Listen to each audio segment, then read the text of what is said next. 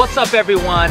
Welcome back to my channel. This is Cedric, also known as Skycedi, and I'm so glad that you're here with me today. This is the fourth episode in my Journey to Korea vlog series where I document the whole process of me teaching English in Korea from scratch. That way I can also help those of you guys that are considering teaching English in Korea as well. Now if you haven't seen any of my other videos yet, I'll link them below, so be sure to check them out. Now today is August 23rd and it's been about a whole month since I officially started the process. So let me give you guys a quick rundown of what I've been able to accomplish up to this point. So I started the process by applying to many different recruiters. I chose to work with Korean Horizons for my EPIK application, which is for the public school system. I retrieved several different copies of my sealed undergraduate transcripts. I've got two letters of references from my current and previous employers. I also registered for my TESOL certification class, which is 120 hours online and then 20 hours in class. I ended up going with Global English for my TESOL certification. I completed my EPIK application and lesson plan and turned that into my recruiter. I ordered my FBI criminal background check through an approved channeler. And finally, I sent my completed background check as well as a photocopy of my university degree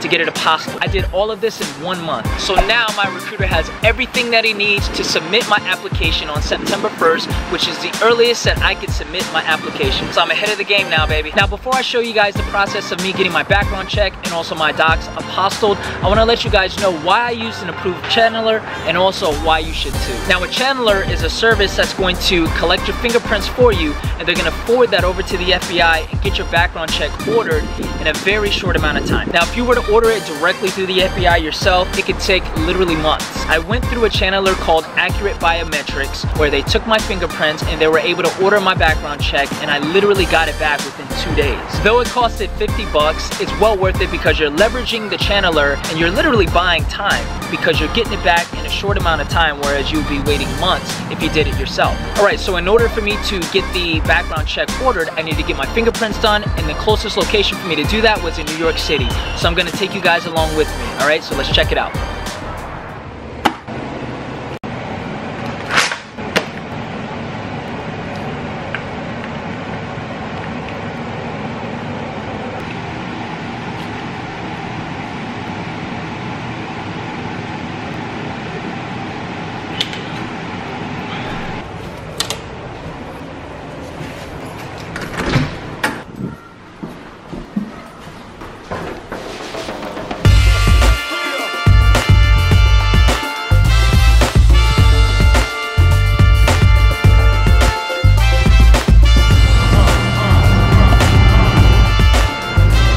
Get round trip, 430.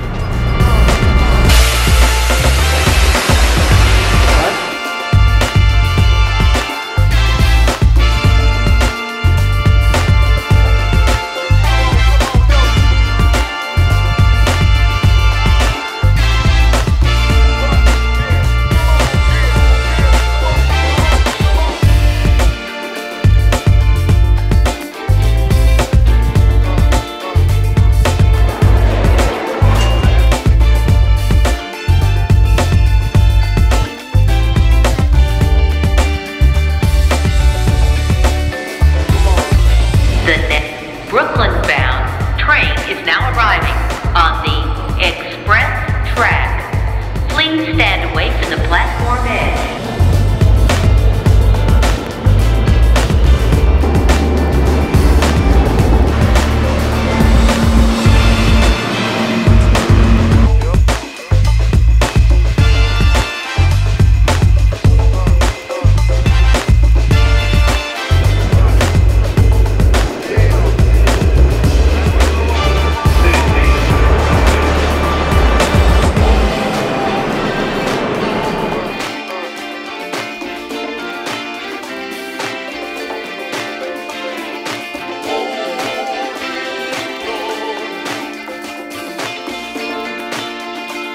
Right, so I'm in downtown New York right now, downtown Manhattan. I gotta find my way to the place to get my fingerprints done. But first, I actually have to print my application from biometrics. And so I gotta find a print shop. I've got 20 minutes to do that, so let's see how fast we can find one.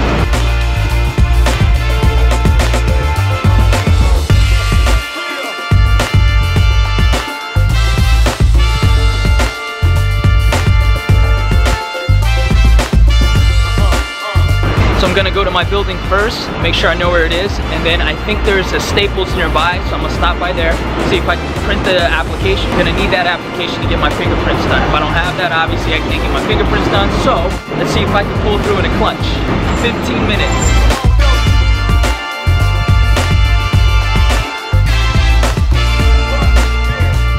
I look like such a tourist right now, but I'm really not.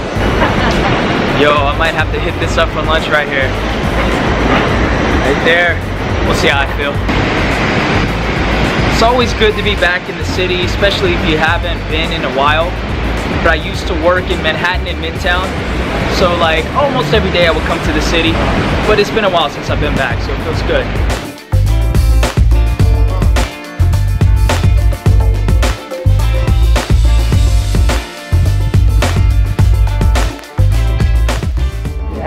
Print a document that I have from my Dropbox. Is there a way that I can like...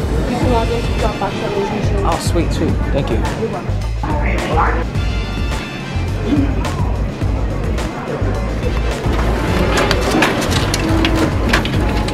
Okay, so I was able to print my application form right here.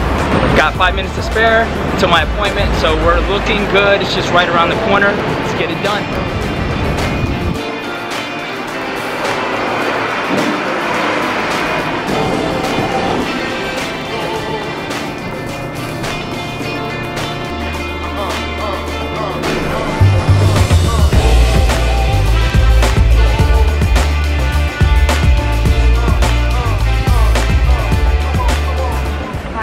How are you? Yep, Yeah, I've got that as well.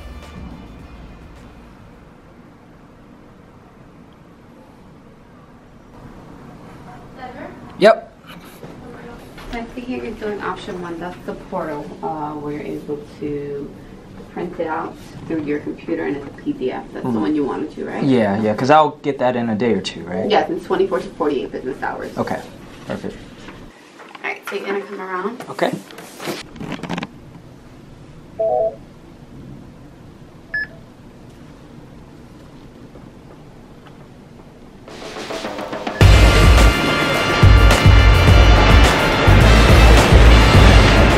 So that was easy. 24 to 48 hours, I'll get my background report, I have to log into a portal, which they gave me the info, and that's that. And then I just have to get it apostilled. So that was really quick. It took about 10 minutes, if that. So now, I'm just gonna walk around, see what I can find to eat.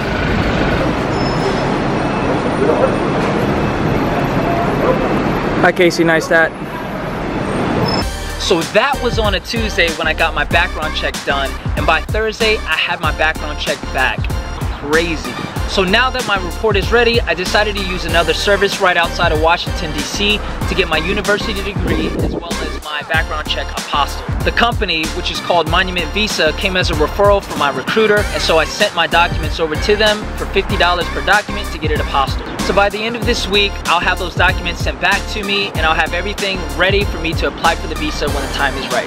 Alright guys, that's it for today. I hope that you found this video helpful, and if you did, do me a favor, hit the like button below, and also feel free to comment, and I'd love for you guys to subscribe. I'll be posting more videos soon, in addition to these vlogs, so I don't want you guys to miss it. Also, feel free to hit me up on social media. I'd love to connect with each and every one of you guys. I'll see you guys soon, and remember, always seize the day.